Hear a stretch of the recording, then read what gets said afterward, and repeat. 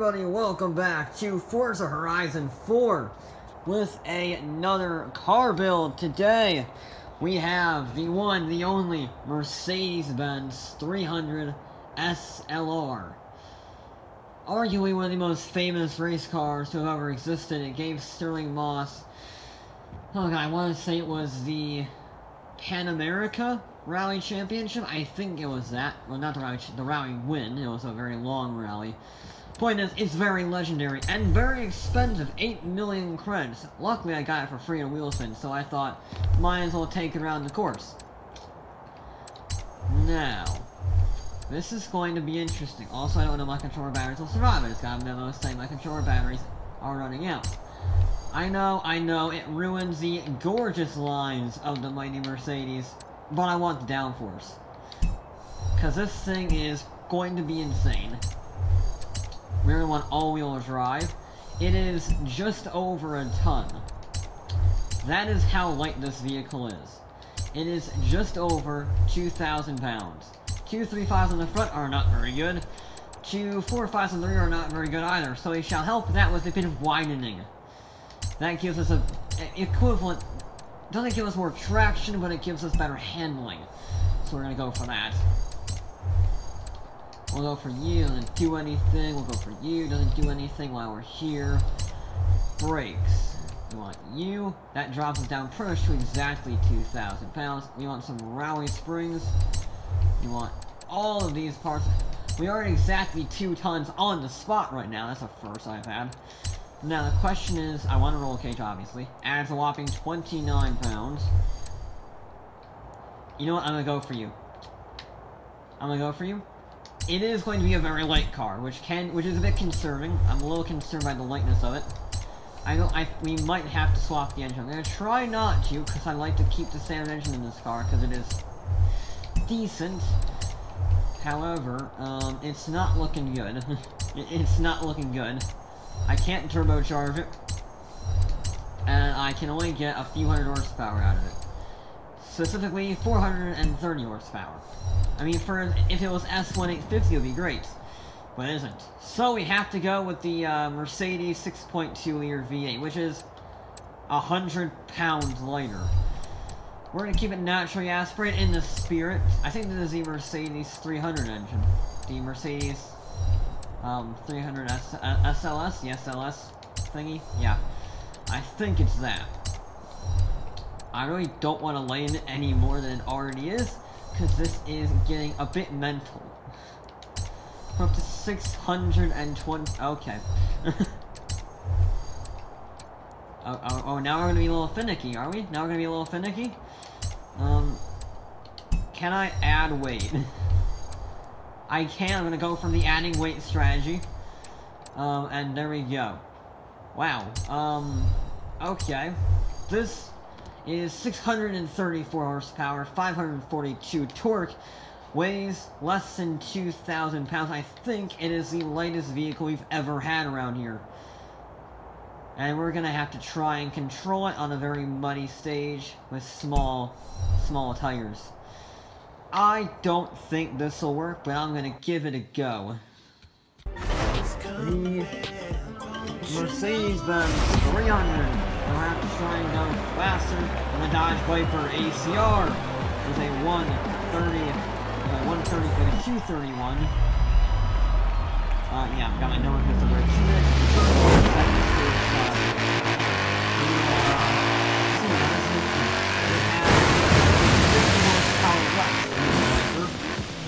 but it has, but it weighs a ton and a bit less.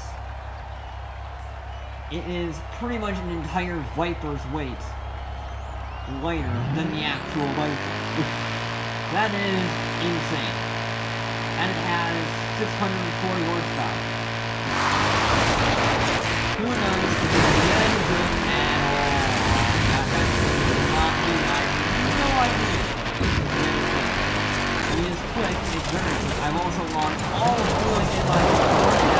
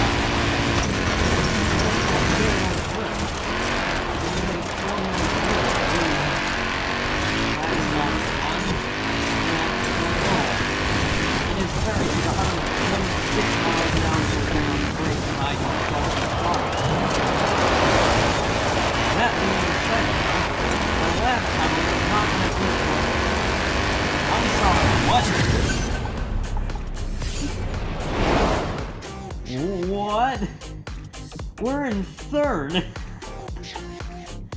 So on a run with a with no controller vibration, running wide, nearly missing a few checkpoints, I managed to get a third place on my first attempt with the Mercedes.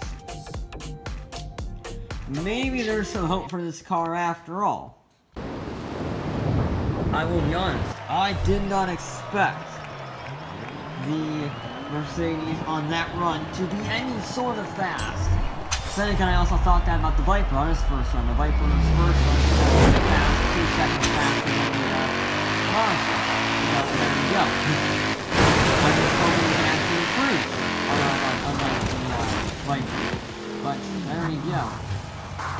I think this has a chance of beating the Mazda. I think it does. Whether or not beating the Viper, I'm not so sure. I don't think it has the handling it has the traction to beat that Viper. The Viper had perfect handling, perfect traction.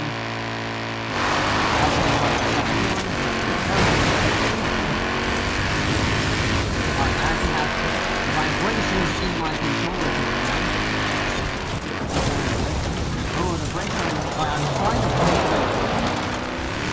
I'm overestimating, overestimating the brake I mean, they're good, but they're not going to be enough to ensure speed I was going to And that's a hundred and two, that's a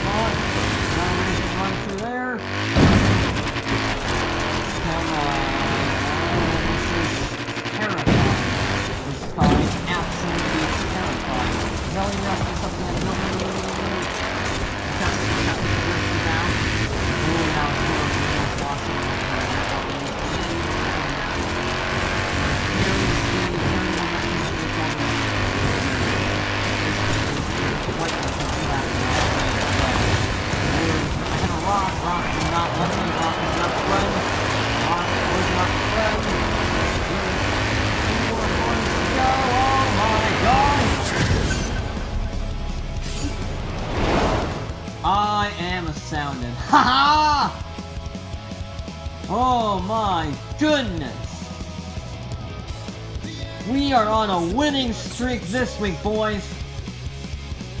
We had the Viper on Wednesday, setting, in, setting the first time to be faster than the Mazda. And now we have the Mercedes, setting a heck of a lap, being the first vehicle under I think that's the first vehicle under three minutes.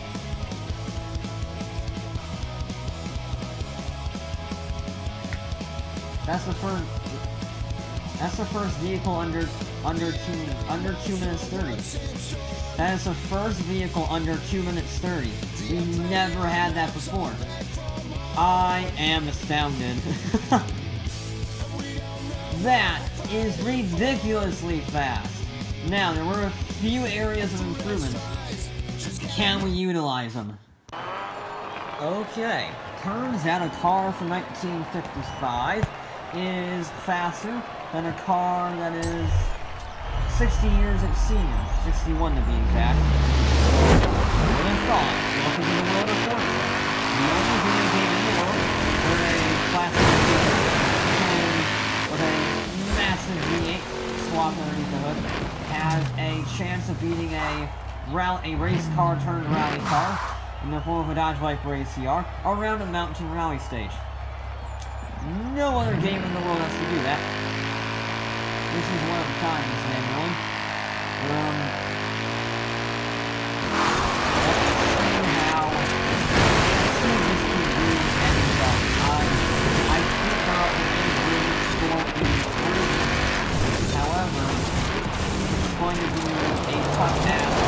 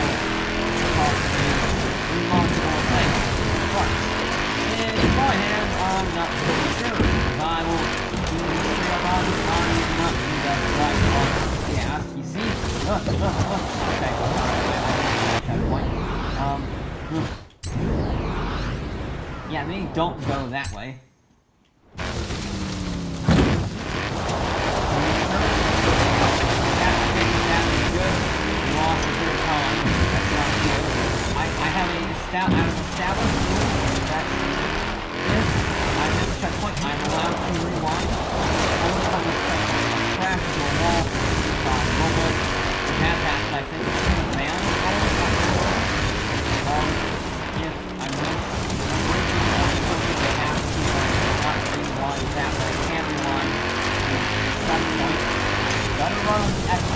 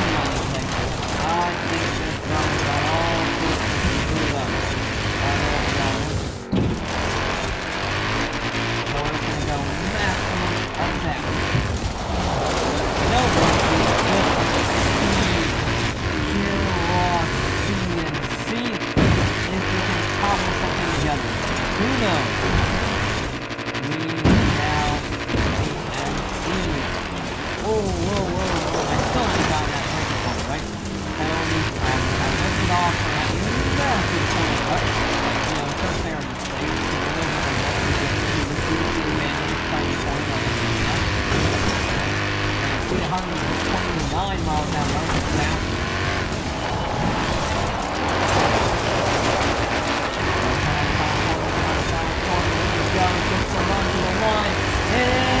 Not going to be but it's gonna be close. Just two tenths of a second. It's close. It is close, but no cigar. If I didn't bloody, if I didn't get too much oversteer, if I didn't run wide, those two corners cost me that two tenths of a second. Damn it. Mm. I mean, we still have a car in the 229s, but yeah. Yeah. Slightly disappointed on that run, I will be honest. Despite my third run not being the fastest, it is the second run that is the fastest, well, the entire series so far, coming in the first place, just edging it in to the 229 to 229.9 will be the fastest run up the hill we've ever had. The Viper's reign at the top was short-lived. The Mercedes has set one heck of a benchmark time. I told I said the Vipers may never be beaten based on how difficult it was to beat the Mazda. But the Mercedes looked at me and said, "What if I just beat it? What if I just win? Is that is that a th- is that a thing I can do?" So it did it. yeah, I can't determine what is the reason for it winning. It doesn't have as much grip. It has less power. Sure, it's a lot lighter, but it has smaller tires. It's got more wheel spin. It, I mean, on a very handling-based track, this should have been a nightmare. it shouldn't have been remotely usable. And somehow, it just about succeeded. And was able to be driv- driven enough that I could get a good lap time out of it. I did not expect that in a million years. I was expecting maybe a top five from this car. Maybe. But I wasn't expecting it to take the lead. But there you go. That is going to be it for this episode of Forza Horizon 4 back with more